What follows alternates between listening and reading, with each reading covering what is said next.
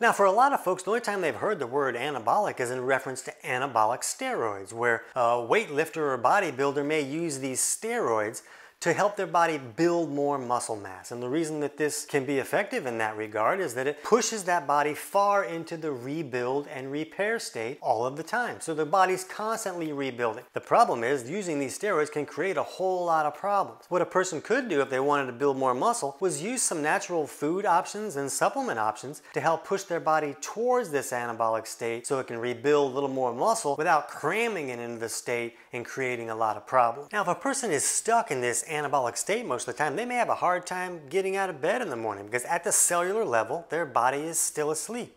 It's also very common to see constipation and anxiety in an overly anabolic state. But it's important to understand that these are not the only causes for these symptoms. These are just possible issues that we see in this imbalance, and these seem to be the most common.